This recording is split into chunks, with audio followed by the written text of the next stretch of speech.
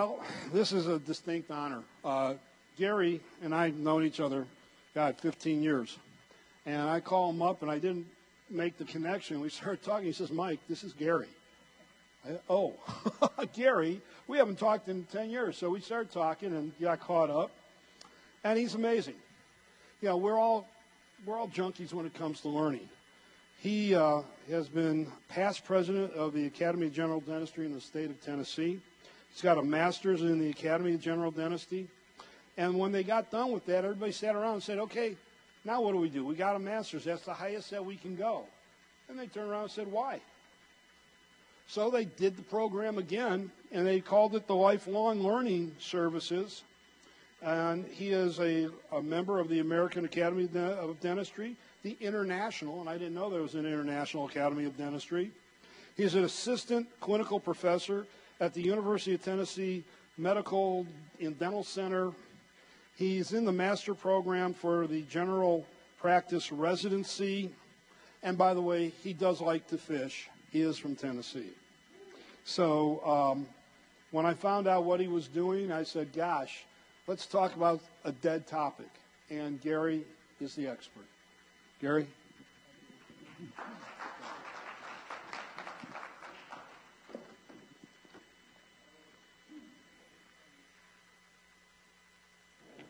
Now am I on? Gee, the first time I ever used a lapel microphone, much like this, all before I'd been attached to a corded mic, and I taught a lot of courses in cosmetic dentistry. Uh, Tennessee, uh, Arkansas, Kentucky. And uh, the Alabama AGD group asked me to go to Destin and uh, teach an all day course in, in cosmetic dentistry. So I went to Destin. They, they treated me to a round of golf the day before my lecture.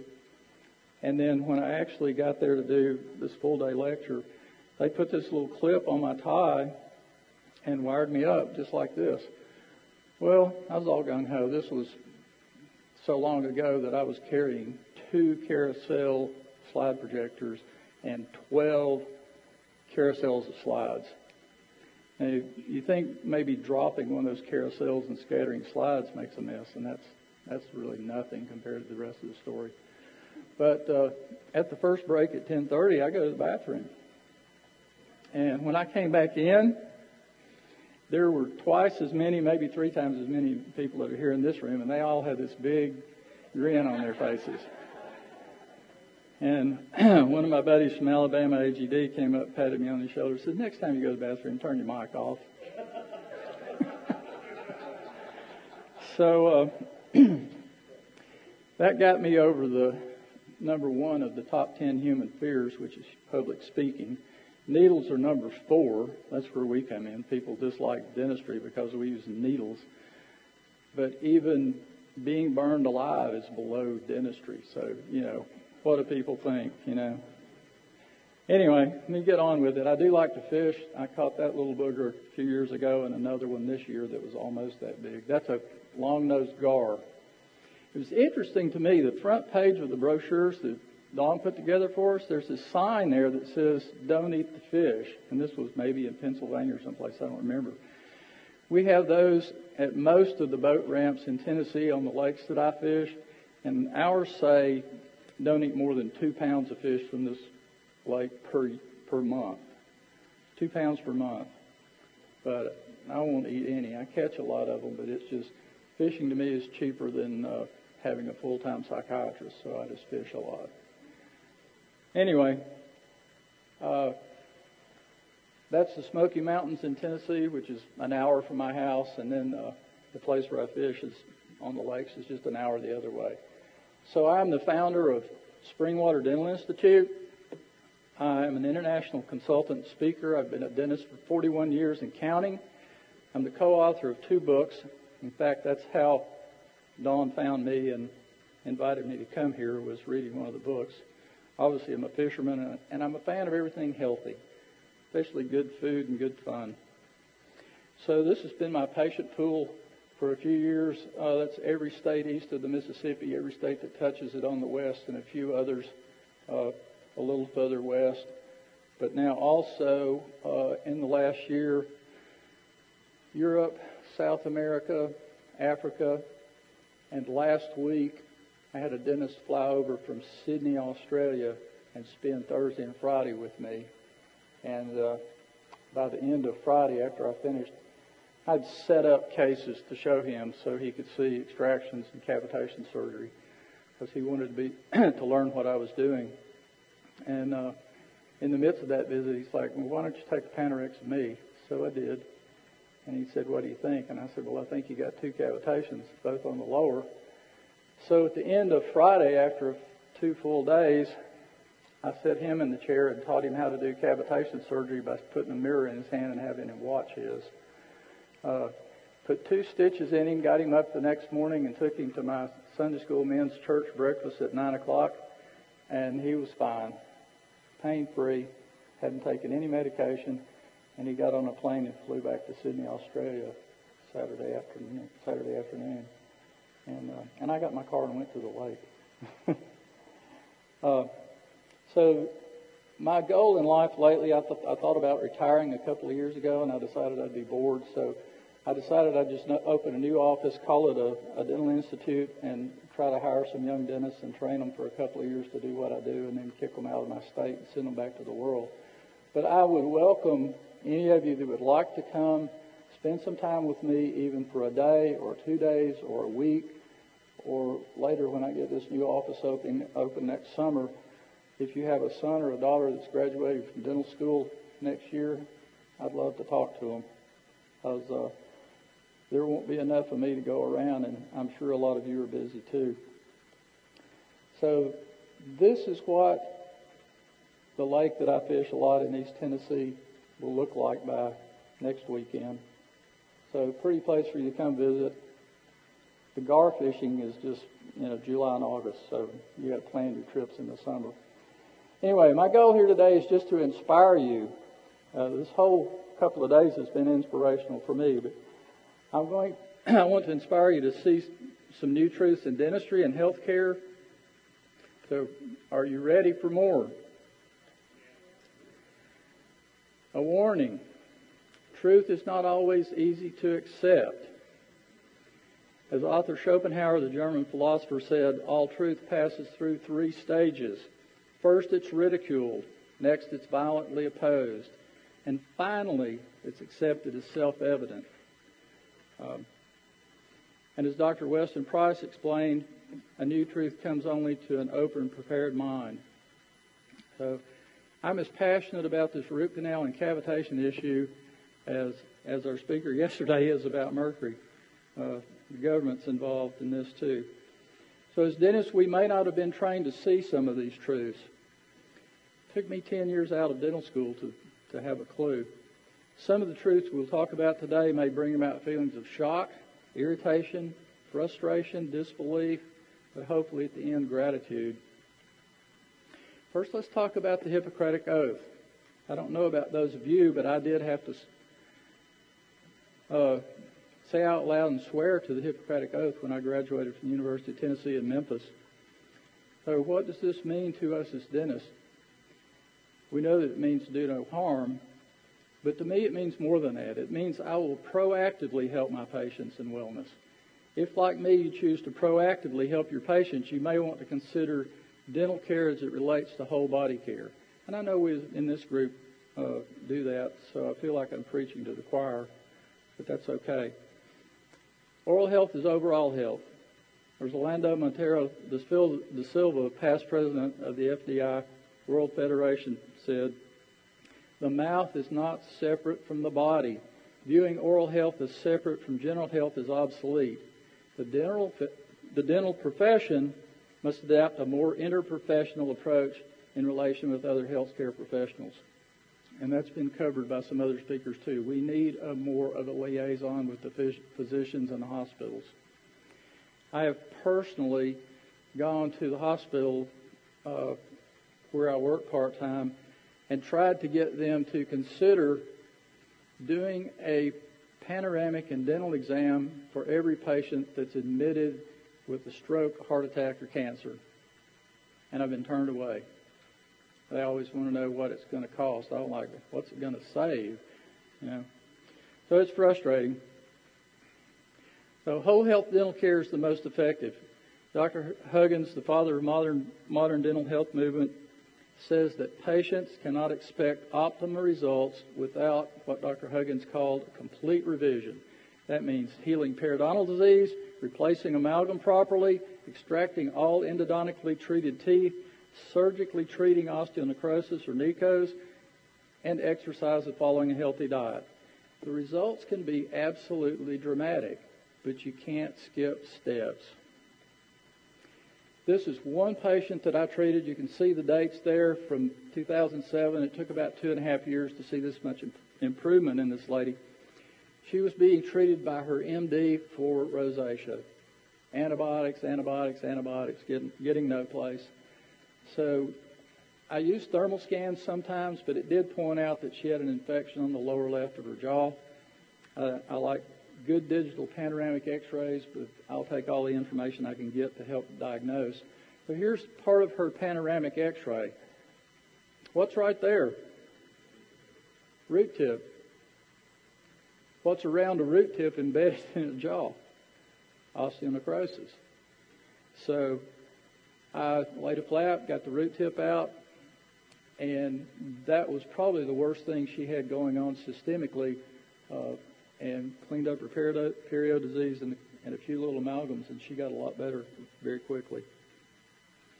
So now that you know a little more, what can you see in the next slide? So what do you see here? Can you see well enough to see another root tip right there? Okay. They're not that uncommon. That's what I call just do it right the first time. You know, it doesn't often get done. So next, let's see how dental problems affect bones and whole body health. So some of the next x-rays of skulls are from the bone library. So let me take a, just a minute to explain what the bone library is. Uh, a lot of people know about the body farm, and uh, I think it became at least famous in the U.S. when uh, Sandra Bullock made a comment about it in The Blind Side, the movie. But the Bone Library was started by Dr. Bass probably 25 years ago. And what he set up as a PhD anthropologist was a way for people to donate their remains to the University of Tennessee. Well, that bone library is in the south end of the Tennessee football stadium, and most people don't know it's there. That probably that end of the stadium would be half empty and they'd only sell 80,000 tickets instead of 100. But it's there and it's a room about three times the size of this one with stacks and stacks and stacks of boxes. I have looked at over a thousand skeletons, mostly complete with, with skulls, and some of them complete with uh, medical history, meaning we knew the cause of death in, in these uh, donated bones. And it, it, it's become an honor, kind of an honorary thing to, to donate your bones to the University of Tennessee. So I'm signing up, and I've had several patients do that in the last couple of years. So it, it's just something that's near and dear to me because of the educational value that it provides for our graduate students, and even more than that, for people like uh, myself and, and the new anthropologist, Dr. Murray Marks, and I uh, have been doing this bone research since Dr. Bass retired to write novels. So we have looked at 1,167 boxes of bones. It is a library. You can check out bones just like you can check out a book from a library, uh, except that you have to have a research protocol and a good reason to do it. The catch 22 has been they will only let us check out five, and we don't want the whole the whole box. We only want the skull. They will only let us check out five skulls at a time, and we can keep them for a week and turn them back in, and then we can go back and check out five more. so we have now checked out five skulls from the bone library and looked at them, photographed them, and created a way to set the skulls on a, on a camera tripod and reset my Panorex uh, diameters and, and get a decent Panorex of a skull with no flesh on it. So, unfortunately, as of right now, we have yet to be able to finish all of this and publish a paper, but that's the goal to have that done by next year. It take, has taken three years so far.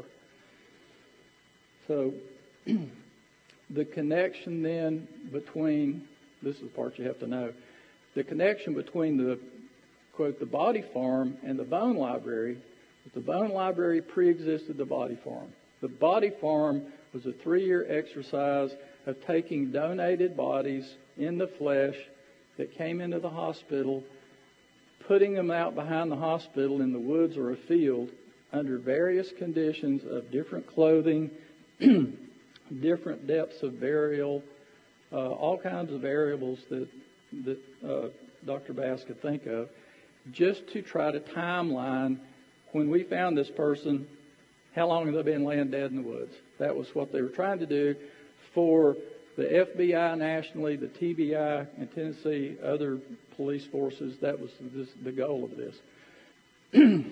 well, I'm glad this is after lunch, and I'm glad I don't have any of Dr. Bass's slides to show you because you'd never eat rice again. It came down to we can timeline date the, how long a body has been lying dead uh, by the fly maggots in their eyes. You can date the the development of these maggots that set up housekeeping on dead bodies. Pretty interesting if it doesn't gross you out. So anyway, it, it came down to the whole research project after three years and, and multiple bodies and, and multiple ways of uh, burying people, either you know three feet deep or an inch deep, or just throwing them out there. it came down to more than anything the air temperature. The hotter it was, the faster they decompose. Uh, throw them out in the winter and it's and it's freezing for a week, like it does in Tennessee, they don't st- start decomposing at all until they thaw. So temperature became the variable, but it really helped police agencies to, uh, to be able to timeline these things. Really interesting stuff. Anyway, what I wanted to see in in these skulls, and this is not from the bone library, this is from one of my patients, but I want you to tell me what you can see here, and then we're going to have some more skulls to look at. Anybody? What's our routine? Cavitations where? 17 and 32. I agree. No root canals, no other issues. But what I like pointing out is that if you can see the outline of a tooth in the lower jaw, and the patient tells you that tooth was removed over a year ago, I'm pretty sure right now that there's a cavitation there 100% of the time. Not always that easy to see, and not as easy to see on the maxilla as, as these are one of the things I look for now is just this little black triangle. If you see that, there's a cavitation there every time. So just learn to learn to see that bit of uh, lack of bone density. So we only see what we know. This is what I'm here to do is try to help you see more. And now you can see all of that. So this is from the bone library. What do you see here? Cavitation right here. Anything else? Well, this is a metal pin that the morticians use to tie the jaws together, but you're talking about here? Nope. Right there? Okay. Probably this is a cavitation that's been squished because of lack of all those molar teeth. But I, yeah, I think that's probably unhealed here, definitely there. This one?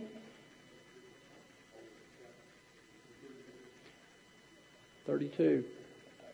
I have to point out that some of these, uh, once the skulls dry out and in the bone library, in the bone library, the teeth just fall out in the box. A lot of them. So that's not extractions. That's just missing teeth, and they get lost. Murray and I super glue them back in when we find them. Okay, this one, golly, this one's more difficult to see, but Another root tip. One more. What's what's different over here?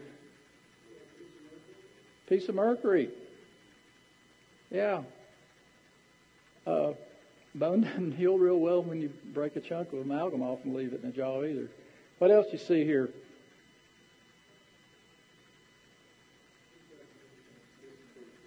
Thirty-two cavitations. What else? One more.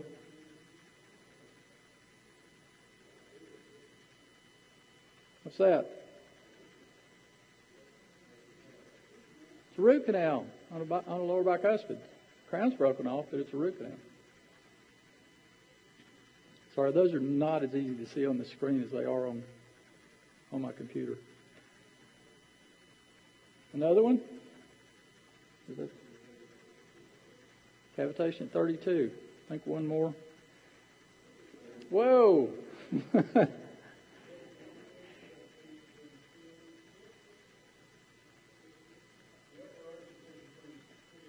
the upper arch is pretty clean, isn't it? Yeah.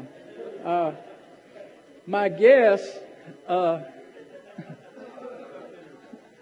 my guess, uh, well, you know, kept falling off the tripod, and you know, we're using modeling clay and all sorts of things, and finally you just say, let's just do the lower jaw.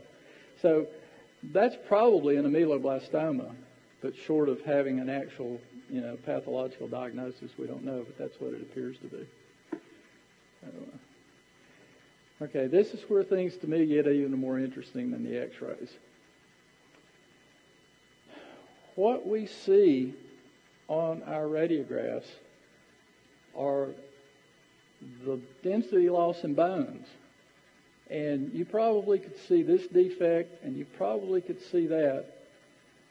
But what strikes me so much on these, and there's periodontal disease involved in both these too, but what strikes me on both of these is you start looking at all of the diseased bone in a much wider area than right at what the defect is you see. Excuse me.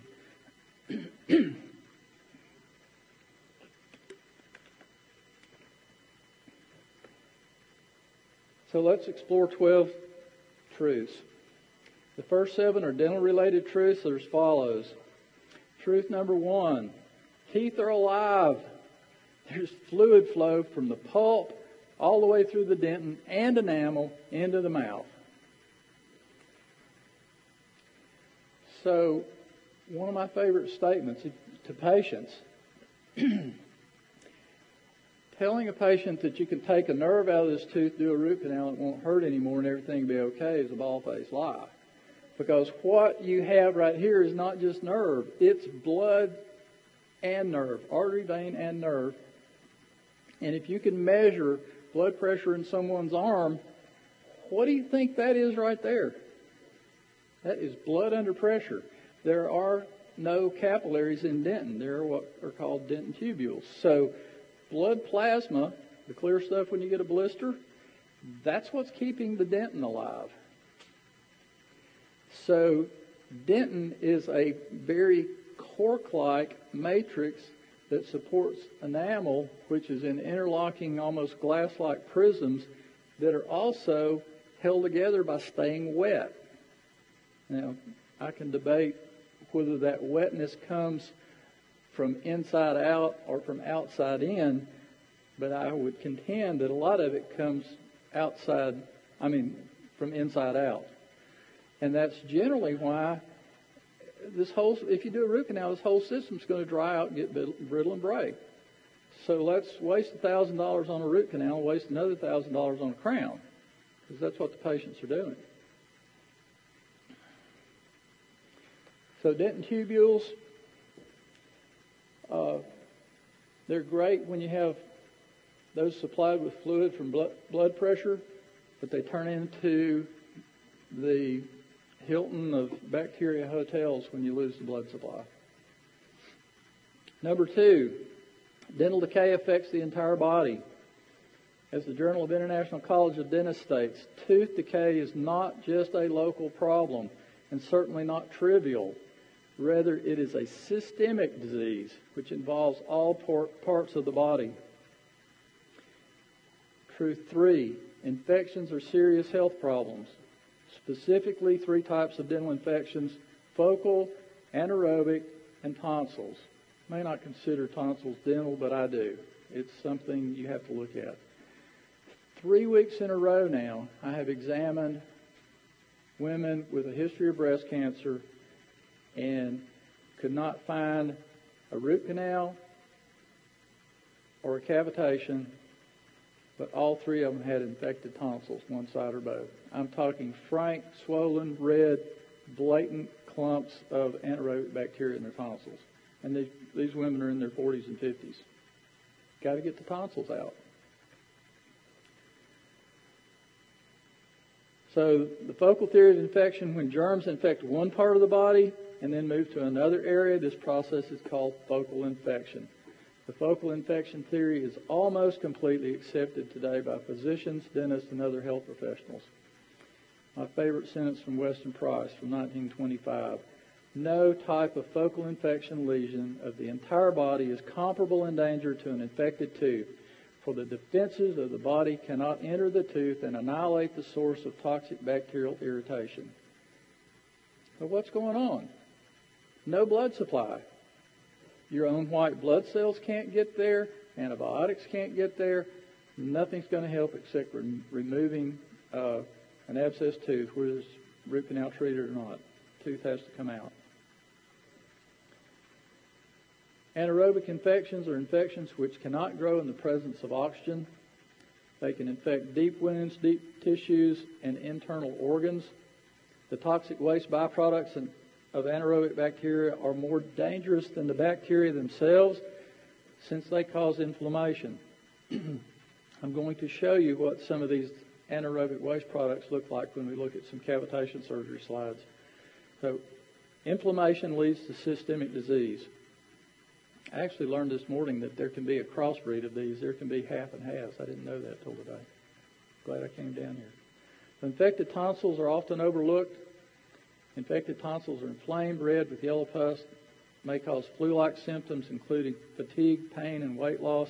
Infected tonsils account for approximately 3% of breast cancer victims. Astoundingly, the research is that the other 97% of breast cancer patients all have a root canal. There's your 100%. I wonder where that 3% went for a while. It's tonsils. Number four, periodontal disease uh, can be easy, easily avoided. It's called pyorrhea, but 80% of the general population has it. It's the most common anaerobic infection and dental disease. It can also be deadly. deadly. So where's all the printed research been since 96 to 98 that links dental disease to uh, systemic illness. It's all been about pyorrhea. It's all been about periodontal disease. I haven't seen much of any other of these infections talked about in, in any of the dental journals I read. So we've all seen all of this, but here you go. If there was a skull when I looked at the skulls in the bone library that shocked me, this one probably got me the most. Because this is a periodontal infection, but it goes all the way from mental foramen to mental foramen and to the bottom of the mandible. So if you only remember one thing that I'm going to tell you today, I want you to remember this. Whatever you see on an x ray, it's worse it's worse on the inside. Dr. Sam Low, president of the American Academy of Periodontology, said in 2010 periodontal disease is a bigger problem than we thought. Given what we know about the relationship between gum disease and other diseases, taking care of your oral health isn't just about a pretty smile. It has bigger implications for overall health and is therefore a more significant public health problem. And this has been in the published press, most of it. I, I cut an article out. It was in USA Today, I think, in 98. So the results of periodontal disease, heart attacks documented, strokes documented, low birth weight babies, babies documented, and cancer will be if I get my research published. I know it's true already. So how can we help patients avoid avoid periodontal disease. Basically, teach them home care. I could spend the rest of an hour talking about this one thing, but I won't. I'll just make a couple of points. Home care doesn't have a damn thing to do with toothpaste. My patients ask me what the best thing there is to brush their teeth with, and I said, Your own spit. That's why God put it there. Don't I need toothpaste? No. And then we get into this abrasion thing. I mean, people brush by habit. They brush by what they see from selling toothpaste on TV, but they'll take a big load of toothpaste, put it at the at the uh, gingival junction of the tooth, and and just saw away. Well, all that does is give them abrasion, which was, when I was in in dental school was called toothbrush abrasion. I've renamed it. It's toothpaste abrasion. That's where the abrasive is. So, so they're like, so what do you want me to brush my teeth with? And I said, I want you to just wet it and go. Just use your own spit. And I said, then if you've really, really, really got to uh, take, have that good taste, good, fresh feeling, I said, then brush your tongue with toothpaste. I said, your tongue will grow back, your teeth won't. so people are, are such creatures of habit. If you get a patient to come into your office, and we're going to call this healthy, below this line, various levels of bleeding, maybe three bleeding points here, 15 down here. Patient comes in, uh, you educate them, your hygienist does all the plaque control, and if you can get these patients to return on a regular basis, hopefully you can keep them fairly healthy. Human nature is if they don't come back for a year, they'll be right back where they started from. And we've all had patients do that. They disappear for a year or two or three or four, and they come back, and not only is their gum disease back where it was, they've got five or six more decayed teeth. Truth number five root canals are not in your client's long range best interest. Is that the understatement of the day? So, how sick is this person? They're pretty sick. Um, and uh, again, I see this on an x ray now, and I know it's probably you know, way bigger when I look at the bone reaction to, to something this bad. Now, another thing that strikes me on, on this particular panoramic is how do you tell if there's an upper wisdom tooth area cavitation. And this is your best clue. That sinus right there, there's most likely a cavitation here, and it's being fed by the infection from these two root canals. But there, you could take these two teeth out, but you've also, the simple way is take the teeth out and pop pop through there with with a burr if you need to and a curette, and clean that area out also. Because when you see a real live patient, and you see that, you pretty well got to, particularly if you see a patient that doesn't have root canals in that area, but just that and this, they've probably got a cavitation on the upper arch. Those are really simple to treat compared to the lowers. So this sinus looks fairly normal, that one doesn't. So lock that little tip away in your memory bank. Oh, root canals. Root canal is the only procedure in any field of medicine for one, where one can keep a body part with no blood supply. I'm going to have that sentence chiseled on my tombstone. Um, and I hope the buzzards come and sit on it. Uh, root canals are worse than mercury or cavitations. Root canals precipitate many anaerobic infections, even cancer. Current holistic dental recommendations are that endodontically treated teeth should be removed before age 50, and that is immune system dependent, and I will explain that in a minute. Root canals are an archaic treatment that should be eliminated except for the temporary relief of pain. Tooth removal and modern, modern dental implants are safe, effective treatments at about the same cost.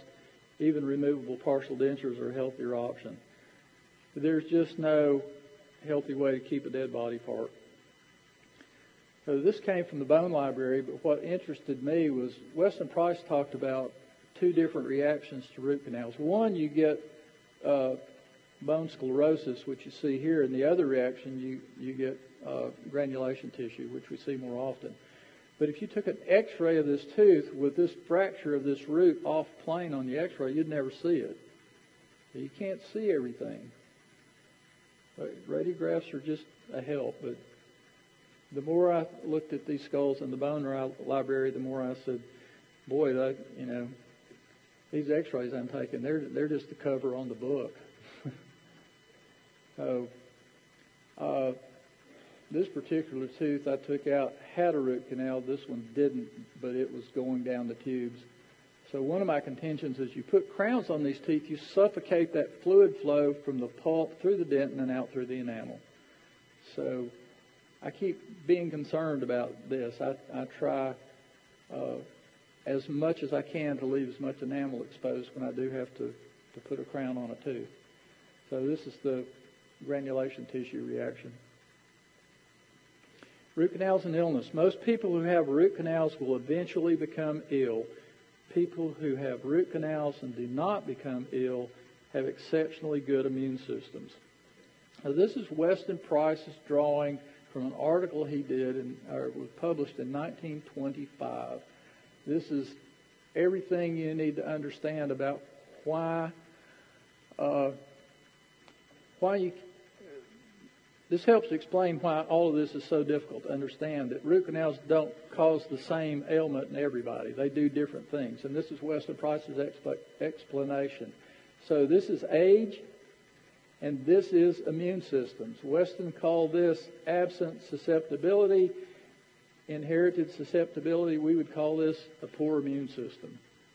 Thankfully, I'm pretty much up here, uh, but my patient pool tends to be, you know, largely this group and a lot of these people and occasionally these.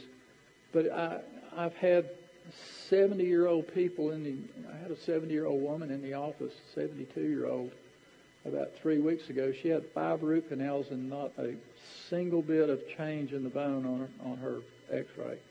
So she's, she's got this immune system. She's healthy.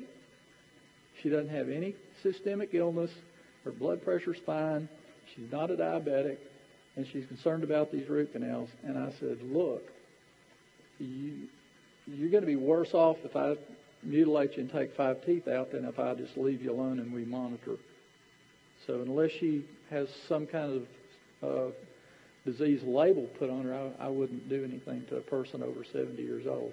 They, you know, they deal with this stuff differently than these folks down here. So just keep this overall picture in mind. Um, if any of you ever been to the Smoky Mountain National Park? Been to Cades Cove? This is the tunnel that you go through to get to Cades Cove. It's, it's one of the prettiest places in the Smokies. I call it the gateway to the gateway to Abrams Creek. Trout fishing. So truth number six, cavitations or NICOs can be seen on x-rays and in the bones. What are cavitations? aka NICOs, neuralgia-inducing cavitational osteonecrosis. Now these were described as neuralgia meaning pain-producing osteonecrosis. It's rare that I actually see one of these causing pain. Uh, Dr. McHorris from Memphis was one of my uh, dental school instructors when I was there, and he came to Knoxville about three years ago.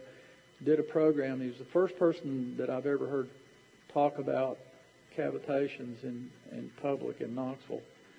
And he asked for a show of hands in the audience of people that treated cavitations, and I raised my hand, and it was the only one in the room. And he said he'd done 10, and he'd gotten really good results out of five of them. And, and so he was treating people that actually had pain, apparently. So osteonecrosis just equals dead bone. So we've been looking at these. I think you'd be better at seeing them on, on x-rays now. See the outline of that tooth. See these over here. So Here's what healthy bone in the bone library looks like. Really different from what these other brown pitted pieces of bone that we're that I've been showing you. There's a cavitation, probably from a horizontally impacted wisdom tooth, and even though the actual bone destruction may not be much larger than the tooth was, it's still you still see it spread from the bacterial infection. So what do you do with these? Well, lay a flap. so this is the real deal. So many times when I lay flaps for cavitations, look look at the character of this bone. It is nothing like good, healthy, healed bone.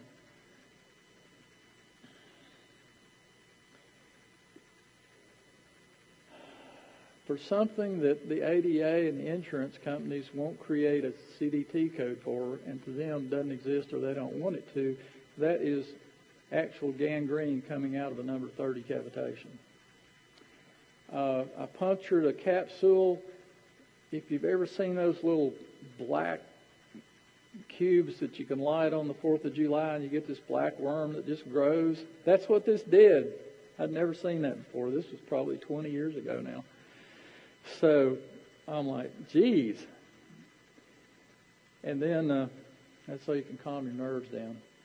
This is the other. This is the other. This is the distal root. I got that gangrene cyst out of the distal root intact without poking a hole in it. I didn't want to breathe that damn stuff either. You know, it scared me.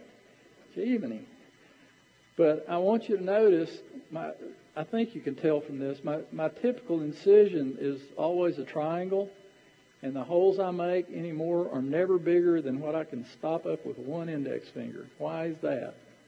I was taught early on to do cavitation surgeries by removing rectangular blocks of bone and doing trapezoidal flaps. But until you've seen arterial blood squirting 18 inches out of somebody's mouth, uh, I guarantee you, after you see that one time and you've got a half inch by inch hole in there that you can't stop the bleeding, you won't ever do that anymore. So it doesn't matter what size area, even even three molars can be missing, and I can do three separate triangular incisions and safely get to these cavitations and, and treat them and suture them up without any bleeding problems. Don't want that to ever happen to any of you. So I, I talked about the bacterial toxins.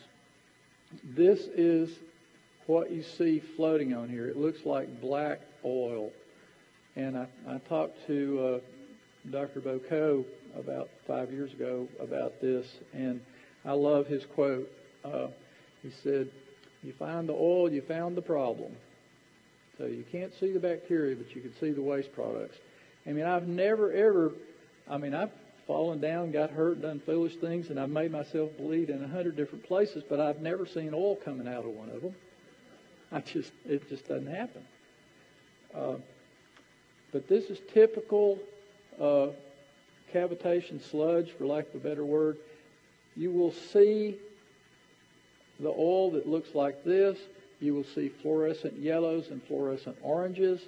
And you will also at times see what looks to be just a metallic sheen come floating to the top. Seen that? Uh, I can't find, can't put my hands on the paper where I read it, but someone described that as when you have wisdom teeth extracted, the body will use that empty space as a trash dump for things it doesn't have any other place to get rid of or can't get rid of. So it will store heavy, your body will store heavy metals in a, in a wisdom tooth extraction site. I've never seen it on the upper, but I see it on the lower routinely. So what I, what do I do with this? Well, I take a small curette and just feel my way around. I have I have there have been multiple times that, that the mandibular nerve will be denuded and I can just move it over and scrape under it, move it back the other way and scrape under it. The artery and the nerve are all in a capsule. Certainly don't want to be poking around in there with the sharp side of a curette. Use the concave side. And just, you can do that. That's rare. I don't scare you. I mean, you don't see that very often. Most of the time, that artery, uh, nerve and vein bundle is encapsulated in bone in the middle of the mandible, so you don't have that much to worry about. so you scrape and wash and scrape and wash until it comes out just blood with no other components. Doesn't really take that long? Uh, and then uh, some of the things that have, occurred, have gone past today are what I do. I mean, I, I irrigate these copiously with colloidal silver. And then the last irrigation that I do was one that Dr. Huggins taught me, which is rinse with a uh, rinse with an epinephrine-free anesthetic. Which, by the way, that's an important point. I don't want to forget. Most of these, it's finished before sutures. I think there are two reasons that cavitation, cavitations form after extractions. Number one, too much epinephrine in the anesthetic. I do almost every one of these with plain carbocaine and zero epinephrine. It's uh, once you get the tissue flat made, there's nothing inside there that hurts. It's rare for for patients to feel anything. So you're not going to. Yeah, I mean, you can dig around in there all you want to, and they're not going to feel a thing. It's just getting through the tissue that's uncomfortable.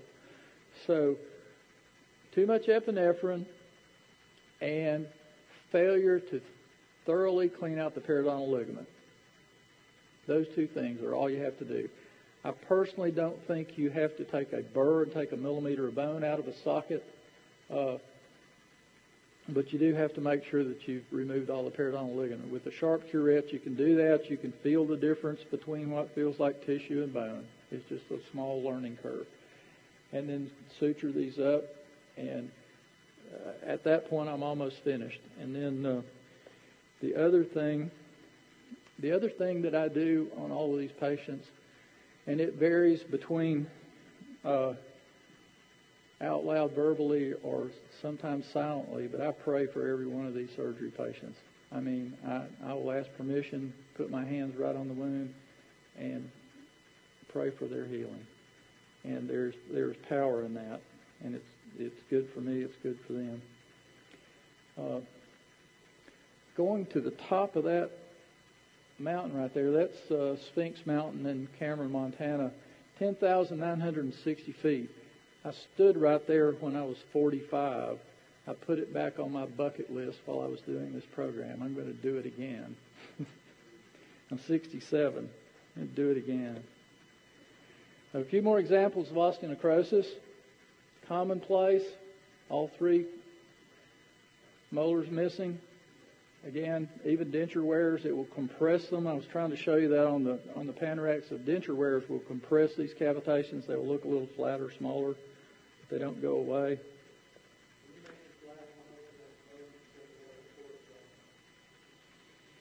I'm more concerned about what's under it than what's over it, but I will. Uh, if you if you take away what's under there, you get a pretty good feel later. I've gone back into some of these, and that porosity will fill back in. I like to, what I would say, sand it with a round burr. And just go over the top of it and try to get a little light bleeding across the top of that. But do I need to make a big hole? No. I just don't want to do that. You're opening up the disaster unless you do that last. Okay. This is the scariest piece of mandible I've seen in the entire bone library. This is this is the mental foramen, and I saw this as purely a decayed, broken off tooth that that uh, had a periapical bone loss. But right here, that's this. I mean that that's. I don't think I would have ever seen that on a Panorex. The bones, the buccal lingual bone's too thick. It would have just totally hidden that. So that's just one more example of no matter what you see on, on, on an x-ray, it's worse on the inside. Sorry, I skipped one. So, truth number seven. Um, mercury amalgam restorations are unhealthy. No amount of mercury can be considered, considered harmless. Lead, mercury, I'm sorry, lead, arsenic, mercury, each one of those is 100 times more toxic than the one before it on the periodic table of elements. So mercury is three times more toxic than lead. And uh, I don't think I've heard anything on TV, TV about getting lead out of paint. I mean, I have, I've heard about getting rid of the lead in paint, but I don't hear anything about getting rid of your mercury fillings on TV. I don't know David Kennedy. Some of you, I love it. Uh, mercury's bad. that's the end of the discussion on mercury. Um, this is uh, Watts Bar Lake, where I have a home, and uh, but that whole lake, as beautiful as it is, is mercury contaminated. It's it's even worse. It's contaminated with mercury, PCBs, and uh, no telling how much stuff they can't find from Oak Ridge where they built the atomic bomb because it's upstream from here. And I catch a lot of fish, and somebody asks me at least once a month, "Well, did you eat that fish?" Because I have pictures of them. I wouldn't eat that fish if you put a gun to my head. It, probably you could go out there in a boat at night and you can see swish shrimp swimming around in there that glow in the dark. So, I want to explore five more truths in overall health which relate to dentistry. Number eight, good nutrition is the best medicine. We've studied that all the last two days. American diets are harmful. Again, we only see what we know. What were we taught to see in this meal? This meal is less than optimally healthy. Meat has antibiotics, fertilizers, pesticides. Potatoes are GMO and sprayed with weed killer before harvesting. The veggies have synthetic fertilizers and pesticides. Dessert has nitrous oxide or some other propellant, anesthetic, and canned whipped cream, fat, sugar, and nearly no nutritional value. And I created that to take the picture and then ate the dead gum thing. Wasn't going to waste it. Fed some of it to the dog. Um, Dr. Price's worldwide nutrition research Dr. Price examined primitive peoples who had almost no tooth decay, crooked or impacted teeth. All of these many diverse tribes of 14 races lived on widely different diets. They universally maintained excellent health. They remained free of tooth decay, crooked teeth, impacted teeth, and degenerative diseases until they were introduced into civilized man's diets, including white flour and sugar. In one generation, consuming such food caused these primitive cultures to develop many of the same diseases we experience in America. Who was it? Where's Bill? What was that? Uh, oh, I was talking to one of my friends today about I've treated a whole group of Amish people that live in this corridor between Knoxville and, and uh, Minneapolis, and uh, the, the Amish people have gone through the same thing Weston Price said. I mean, I see the grandparents were, were pretty healthy. The children and the grandchildren, they're having the same problems as the rest of us. They're all these Amish that live so simply and so healthy. Uh, they've gone down the tubes like the rest of us have. So, what can we do to improve our nutrition? Eating healthy does not require a specific diet. Just do this. At least try. Eliminate man-made items, anything from industrial food manufacturers, anything wrapped or enclosed in plastic or that comes in a cardboard box, I think. Conventionally grown foods contain chemicals, fertilizers, GMOs, so choose organically grown raw foods instead. And I feel like, you know, I'm sitting on the wrong side of the desk and somebody's asking me, but what's this going to cost? It's going to cost more. Well, yeah, it probably is, but is it worth it to us? So I'm making a bigger effort all the time to find local produce without succumbing to convenience. Final thoughts on nutrition. Can't stay healthy on Coke and Twinkies. Or, as was in the, in the USA about uh, a month ago, it was uh,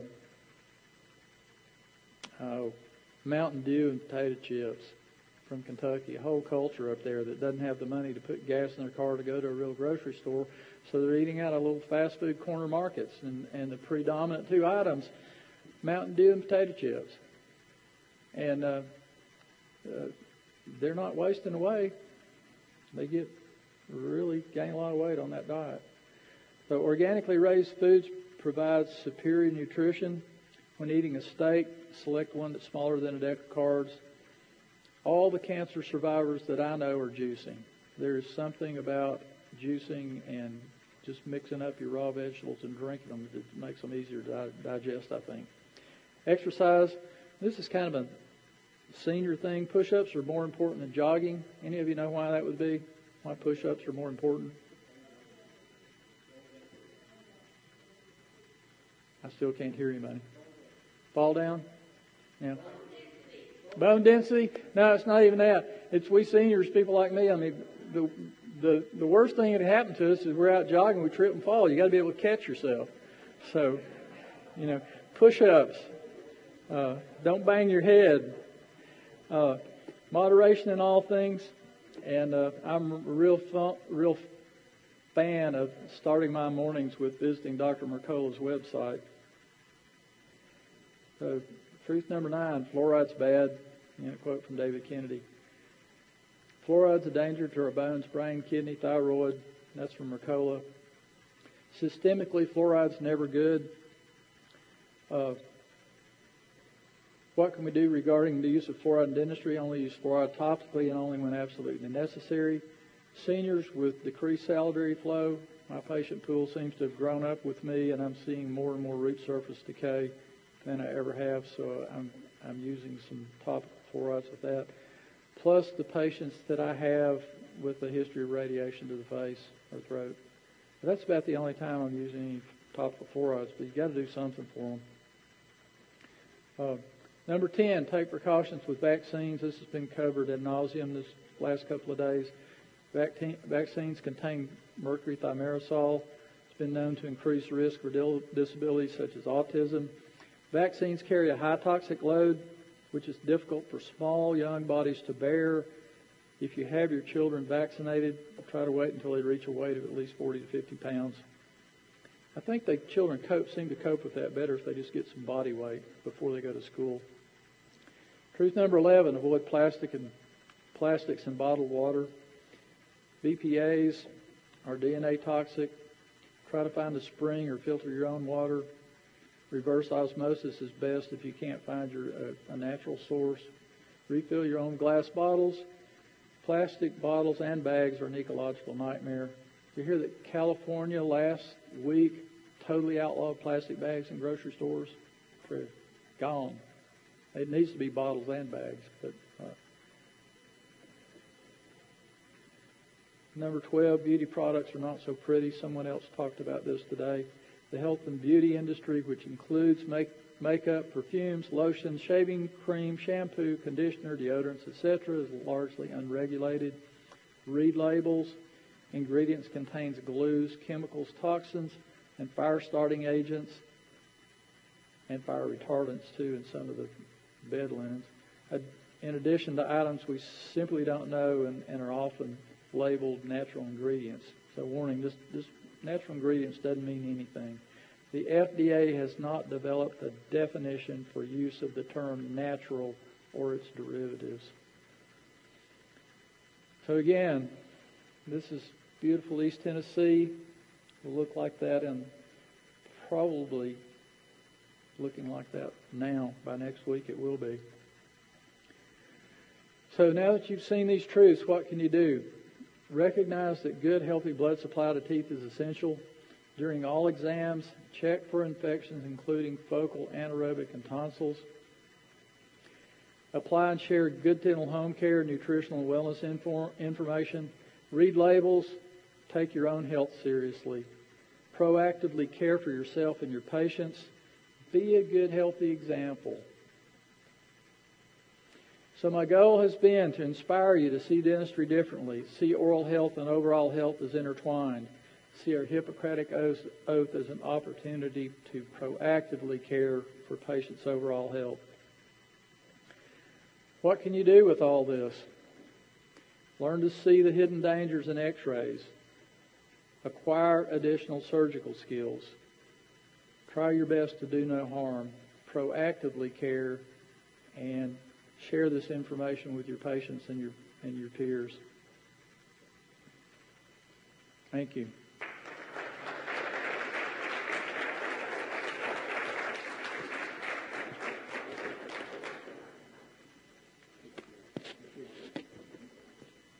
Thank you, Gary.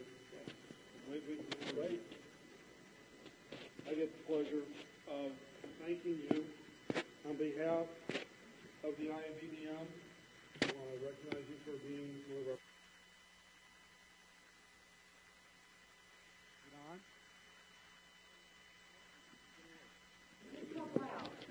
I'll talk loud. Gary, oh, that's on. Thank you. I'll hold it for you. All right, I got it. I want to thank you for approaching a wonderful topic. When I heard about the uh, library, uh, I thought I saw a lot of that when I was at the University of Illinois, those bodies in the uh, cages and stuff. But they were just graduate students like yourself. So, but on behalf of the Academy, thank you very much for a wonderful time. Okay, thank you. Dawn, you have a few announcements to make? What's the code? The code for this session is 1011GC. 1011GC.